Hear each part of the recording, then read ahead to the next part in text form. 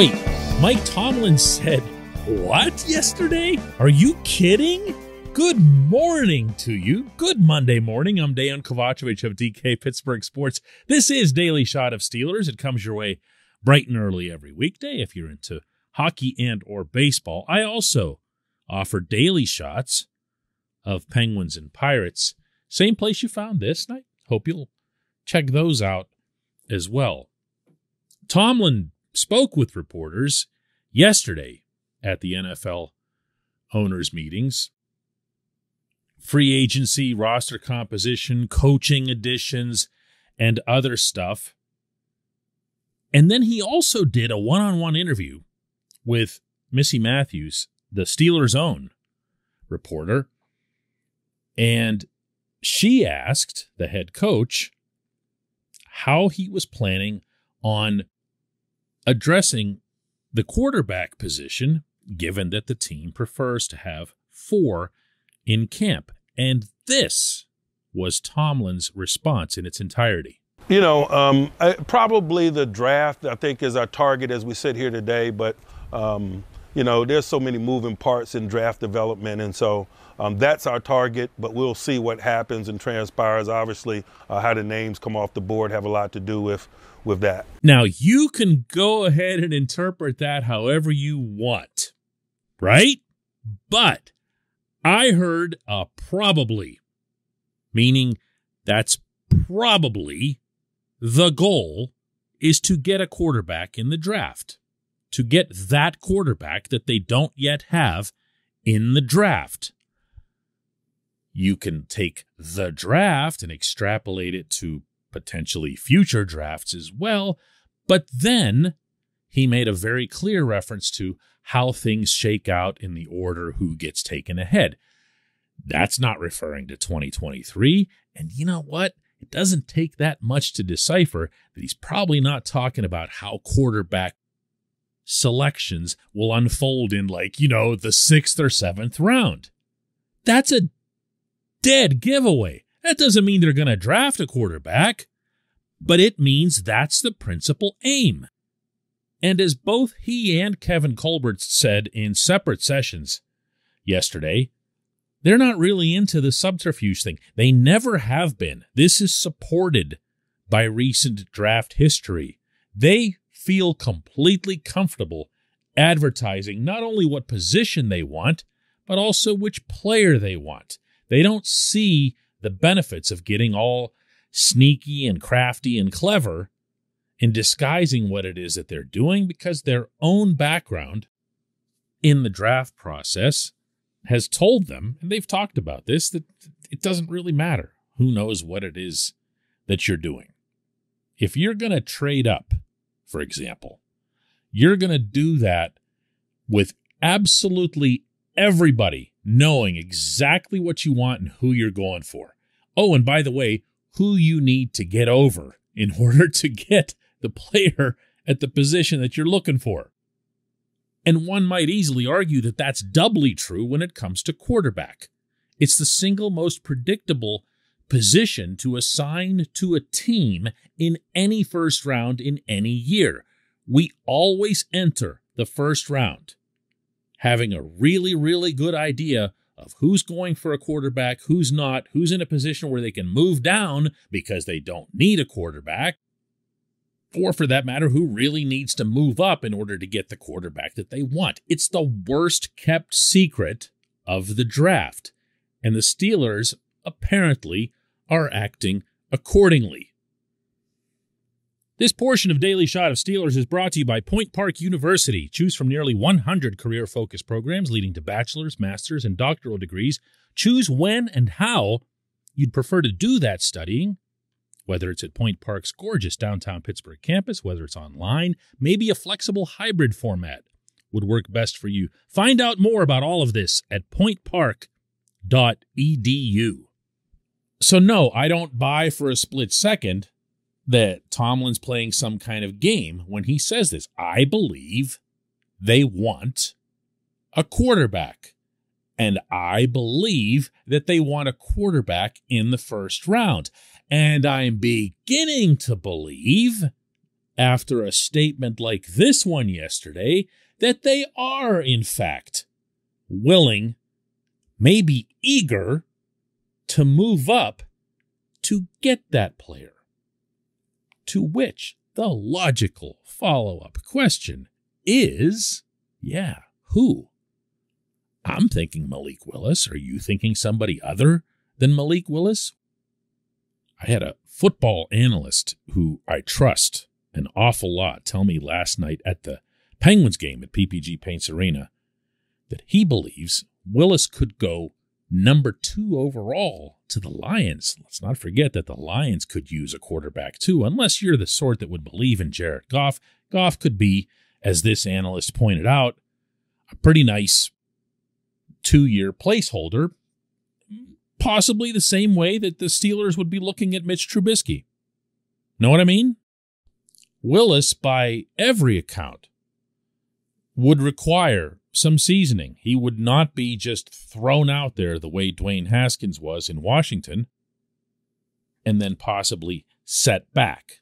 You would bring someone like that in and let him learn, let him practice, let him see what the league's all about. And hey, look, if he's this super spectacular athlete, maybe you find some other way to ensure that he gets involved in the offense somewhere along the way. But he might not be there. And unless the Steelers are planning to, oh, I don't know, trade up all the way to number two overall or number one, they can't assure themselves of even having a chance at this player. No, I don't think he's going at two or whatever, but I do think that Willis is going to end up being the first quarterback picked. I do think that the Steelers would prefer him over anyone else in this class. And as such, that's now where the formulas are going to start spinning.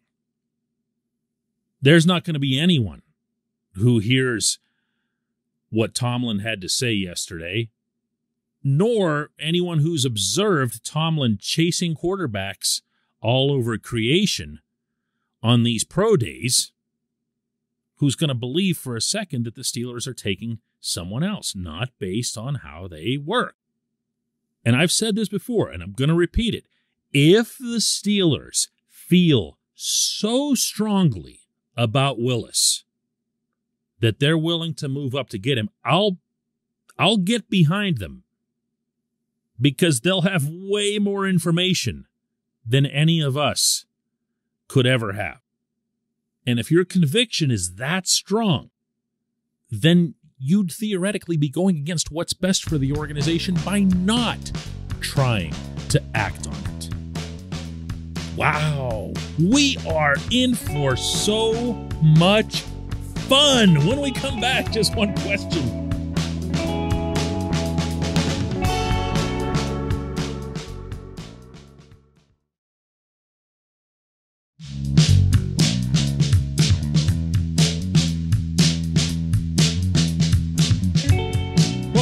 It's time for just one question, and that's brought to you always on this program by the personal injury law firm of Luxenberg, Garbett, Kelly, and George. LGKG. They represent people who are hurt in car accidents who need assistance with workers' comp and medical malpractice claims. The attorneys at LGKG have been designated super lawyers, capital S, capital L, for the past 15 years. And yes, that is a real thing. The super lawyer designation is reserved for the top 5% of all attorneys in Pennsylvania. Learn more about them at lgkg.com or by calling 888 842 5454. And today's J1Q comes from Ben Morgan in Wellington, New Zealand. Ben asks, What type of wide receiver might the Steelers be looking at in the draft? Last season, when Juju went down, I'd expected Claypool to get pushed more into a big slot role with Washington coming in on the boundary. That didn't happen. Ray Ray came in and stayed there, and I took that as perhaps Claypool not being able to handle the slot. Maybe I'm wrong there.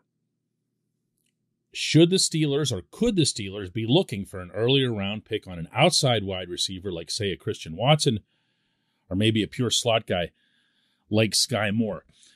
Ben, as with most everything related to the wide receivers with this particular football team, it hinges, as you correctly noted there, on Claypool.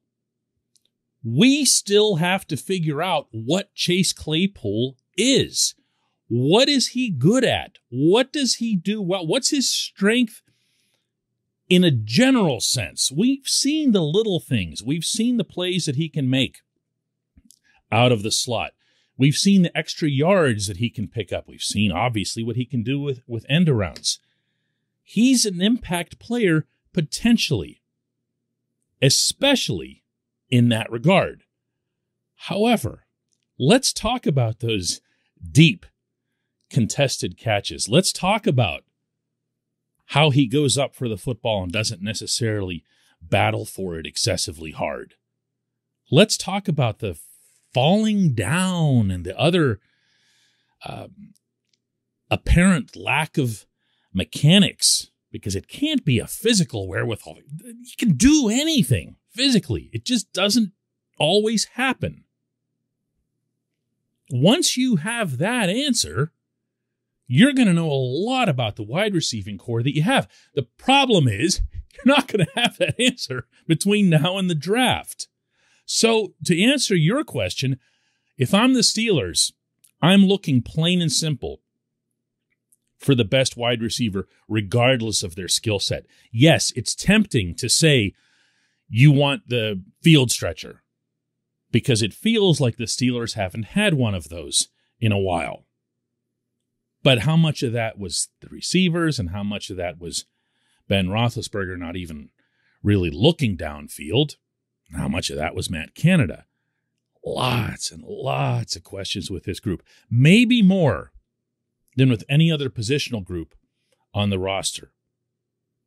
But I will reiterate that I'd have no issue whatsoever if this football team added to the wide receiver room off the top of this draft, and I mean first or second round. And remember, you can get a really, really good receiver in the second round, sometimes even in the third round, with how deep that position is generally year after year coming out of college. I would love to see it. Now, would I love it more than, let's say, the next terrific future defensive line stud? Probably not. Probably not.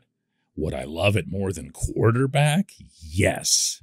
Yes, unquestionably. And maybe some of that is selfish short term thinking because that receiver is going to be able to walk right onto your field and compete for a spot. I appreciate the question. I appreciate everyone listening to Daily Shot of Steelers. Let's do another one tomorrow.